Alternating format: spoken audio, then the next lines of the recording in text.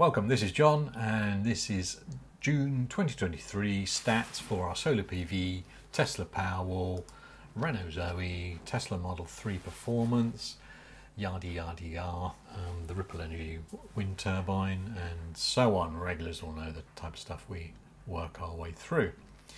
This is our setup at home. This will be the last time you see this set up in its current form because uh, as I record this on the 15th of July, we've got rid of that hot water cylinder, that 140 litre hot water cylinder, and the end's been replaced.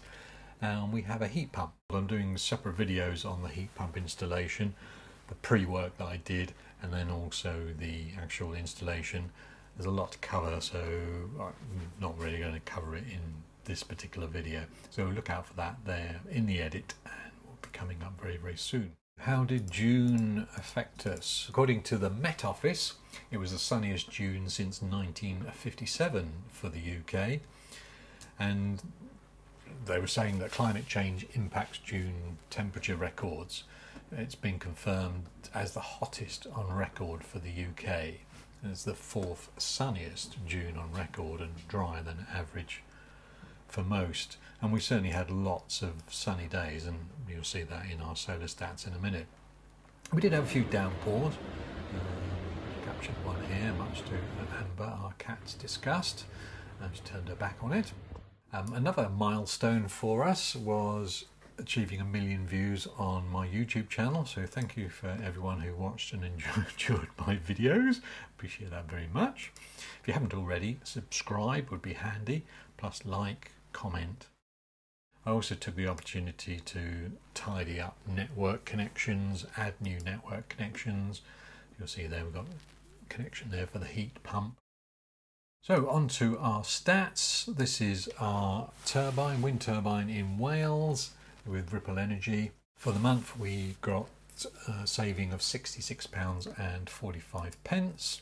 This is the day by day in tabular format so you can see there um, daily generation, cumulative kilowatt hours, cumulative units, and then the savings per day, giving you that total of 66.45, with a running total so far of 500 and almost 50 pounds, 547 pound 47, which I'm really pleased with. This is the day by day in graph format.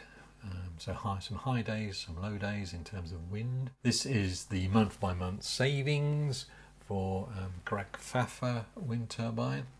We've also got Kirkhill wind turbine scheme that we've invested in as well. So we've got 26% of our electricity needs in this Graig Fatha one and 76% I think it is off the top of my head within Kirkhill which comes live in the early part of 2024 so I'm hoping that both of those covers all of our electricity usage we shall see being that we've now got a heat pump, uh, our electricity usage will be going up quite considerably, especially as we now have no gas um, at all. On to solar. So for June, we generated 919 units, which is a bit of a record for us for June. It's our third highest ever. As you can see there over on the left hand side, you've got a 934 in April 2020 with a 1077 in May of 2020.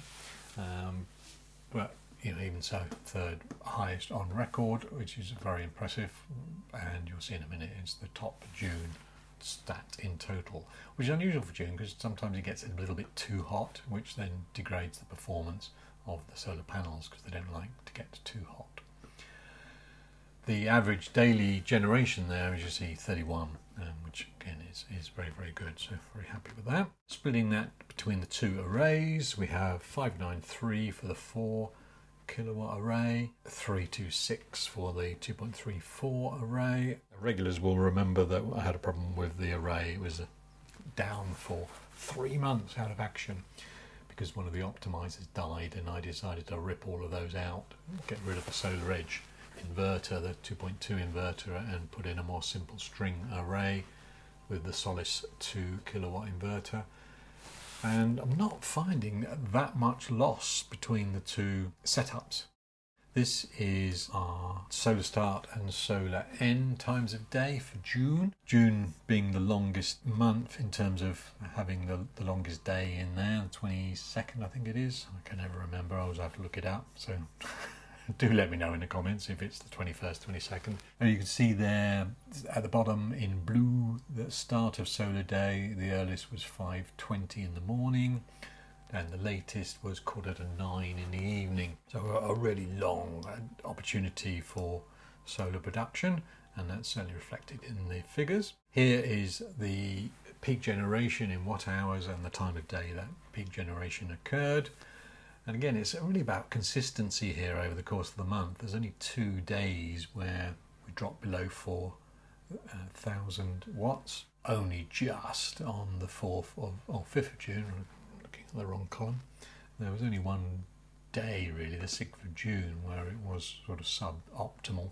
So this chart looks at our percentage contribution of the Tesla Powerwall 2 and our solar PV panels to our overall house self power. 64% of the energy came from solar and 28% came from the battery to power us to a total of 92% self power for the month, which I was very pleased with. All of the Junes that we've had solar, so from June 2012 right through to June just gone. 919, as you see there, is head and shoulders above the rest by um, some country mile, almost 100 kilowatts.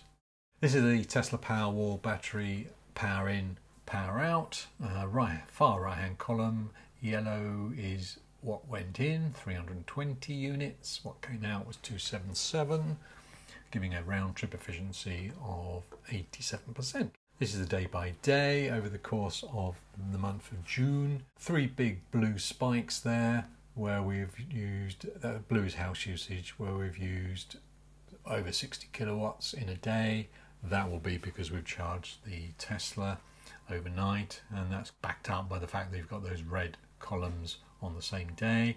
The red is the import from the grid, and we've obviously charged it overnight on cheap rate. Also, by comparison, look at the amount of yellow there, and yellow is by and large equaling or exceeding the house usage on a day by day basis. And as a result, very little import and also very little export. This is our totals for the month. So house is just over a megawatt, 919 as you know from solar, 161 units from the grid and 19 units to the grid.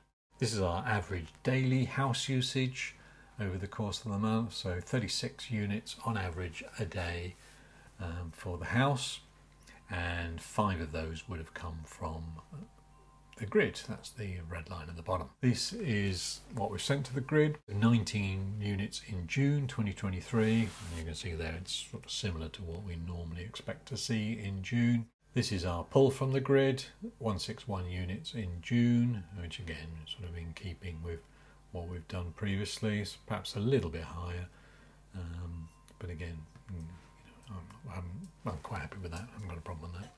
Let's have a look at the eddi. So this heats our hot water. Got a bit of dilemma with this. Um, what I'm going to do with it going forward now that we've got the heat pump.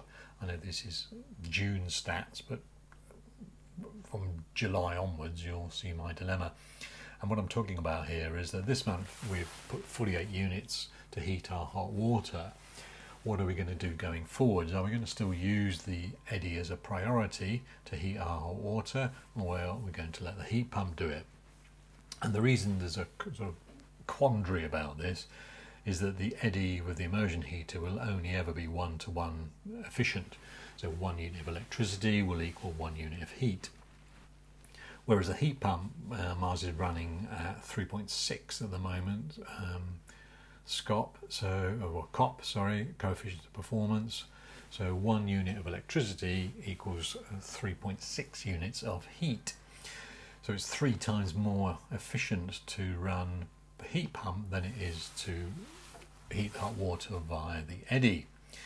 However, if you're going to export the solar, if you've used up all the solar on site, as it were, and it's exporting, then it's, in my view, it's better to use it to heat the hot water rather than export it because we don't get any benefit from exporting it. So I think this will be a watch this space. So I'll be interested to know what other people are doing with that and what their thoughts are. So do drop the comments down below, please. This is our historical look at the eddi. So for the month of June, 48 units, as you know, so four pounds and eight pence saving, bringing us a running total of 109 pounds, 110 pounds, based on our off-peak costs of 8.5 pence per unit. The cars, um, this is the My Renault app, and uh, when I go into it, more often than not, I get this little pop-up message which says, "My Renault." It seems that you are using My Renault quite often. Do you like the application? I always respond no because it's pants, but they still pop it up anyway. It's like, hello, I've told you it's rubbish. Why are you still asking me? You've done nothing to improve it. And the reason it's not brilliant is because you go into it, and this is the, the screen that pops up, and it says, oh, yeah, 21%. You go out to the car, it's nowhere near 21%, and the mileage is completely different from what it shows there at 30,296.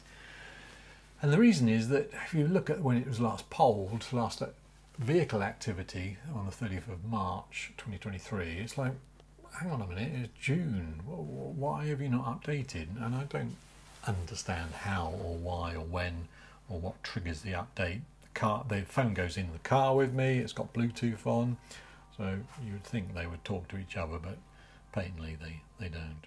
Apart from that, car's been fine. Um, no problems with it. In fact, it's actually very efficient uh, this time of year. We charge it up to um, 100% the other day because we were doing a lot of running around in it. And normally, 100% in the winter, it gets about 80 miles of range um, showing on the display. Whereas, look at that 106 miles of range, and it is pretty accurate actually. Um, so yeah, it's a really efficient little car when uh, when it's nice and warm and you're tootling around locally. So it's running up to 31,397 miles at the moment.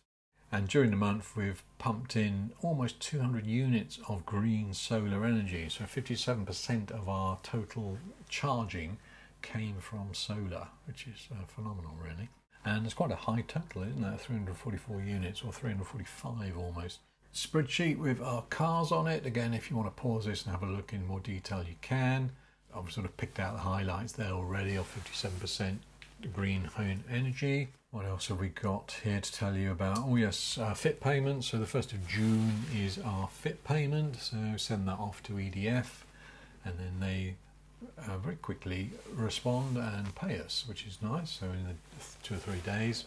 So the red line, red dotted line you're looking at, £872 and 63 pence is our payment for the second quarter. So that's a very healthy payment for that particular time. Um, this is the chart data set of our fit payments from the from the off. So 25,000 in total uh, we've had fit payments, and as regulars will know, that all goes back into improving our home and adding components to the home for renewable side of things. So a lot of the heat pump money has come from that. Here's our electric and gas bill. So electric bill, total of £33 and 48 pence. 167 units of electricity, averaging out at 11.45 pence, which is pretty good over the course of the month. Most of it during the off-peak rate. This is gas. We've got two gas um, bills, if you like, go over two periods. So the first was from the 5th of June to the 30th, and then the second was from the 1st of July to the 4th of July, um, which will be due to a price increase or decrease. Not that it really impacted us because the standing charge is exactly the same, and we didn't use any gas at all in June. In fact, I think I mentioned it earlier, the gas meter has been capped, and, and we're waiting for Octopus Energy to come along and remove it. Once it's removed, we will lose our MPRN, which will then trigger the um, stopping of a standing charge, which is nice. So it's 110 quid a year that we'll be saving. So this is our historic gas bills over the course of the months and years. And then the same thing for electric, That's the year over the year really. I haven't got so much data. We will be changing our tariff, our 5th of August, go faster tariff runs out. Go Faster is no longer. There's the Go tariff, um, but we're probably going to go with Octopus Intelligent and see how that works for us.